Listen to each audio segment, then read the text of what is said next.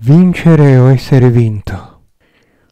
Il Parlamento era diventato un grande cortile di legno dove ai fascisti piaceva sentirsi parlare.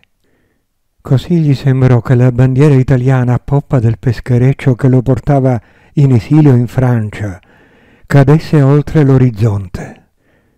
C'era una compagna con lui quel giorno che tacque per tutto il viaggio perché si sentiva umiliata. Era l'Italia. Sbarcò nella bruma marsigliese e da buon soldato si mise in marcia, senza portare armi, era lui stesso un'arma. A Parigi non vendette la sua lotta per un posticino tiepido d'esilio. Da lì suonò tante volte segnale d'attacco per gli interessi dell'Italia senza sbagliare una nota. Come religione ebbe la sua anima, non aveva che se stesso per combattere, ma anno dopo anno riuscì a strappare al destino il suo ritorno. Commento. Le divisioni politiche, i partiti e le organizzazioni in genere, tutto ciò che separa, fa parte dell'esperienza incarnativa di chi ha ancora bisogno di combattere nella separatività e vincere o essere vinto.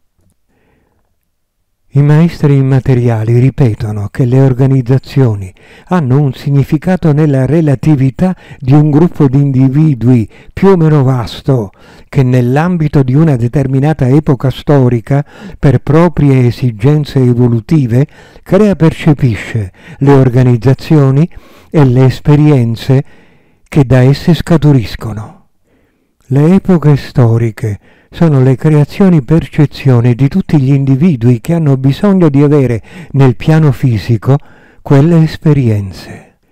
Non è il singolo individuo che crea l'epoca storica in cui si incarna, ma sono tutti gli individui che con lui hanno sentire analoghi che creano, percepiscono quell'epoca il grado di evoluzione che quell'individuo ha raggiunto, solo quell'epoca poteva creare e percepire, e solo di quelle esperienze, e non di altre, aveva bisogno per la sua successiva evoluzione.